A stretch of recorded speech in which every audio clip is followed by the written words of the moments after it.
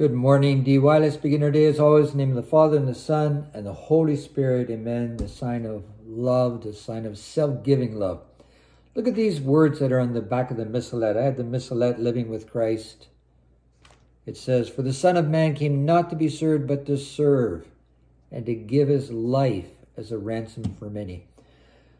I was looking at today's gospel. In today's gospel, Jesus washes the feet of his disciples. And this is the ultimate symbol of service. It's the day before he's to die, and he wants to lead them a profound message. I don't know if you remember the last time we had a Holy Thursday liturgy at school, Mr. Valoria washed the feet of students. And the line that really stood out for me as I read today's gospel, it says this, if you know these things, you are blessed if you do them. Is kind of a big if. Huh? If you do them, if you do them, if you live in love, if you live in self-transcending love, the way to joy is transcending self. And that's the meaning of the cross. If you know these things,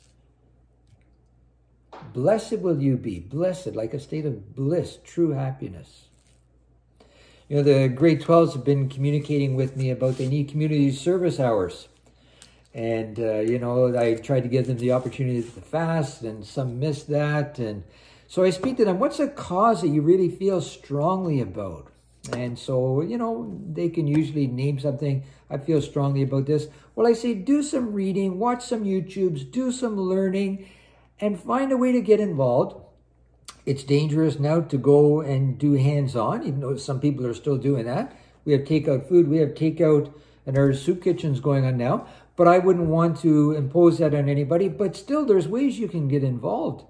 I recently delivered food to uh, some indigenous people doing a, a land back claim. And then on top of that, I wrote the Minister of Indigenous Affairs. You can get involved by writing a letter, by making a donation, by speaking up somehow. Do something. Life is about love and life is about service. And by the way, these kids who needed hours, I said, learn, do something, and then do a reflection, which you're going to share with the whole school. So that's really cool, and I'm looking forward to those. Anyway, you know, community service, it's meant to be a nudge to encourage you so you experience the joy of giving. Let us pray. Gracious and loving God, I ask you to bless each one of us that we may know our mission to serve and live it fully. May Almighty God bless us all in the name of the Father, and the Son, and the Holy Spirit. Amen. St. Margaret d'Youville, pray for us.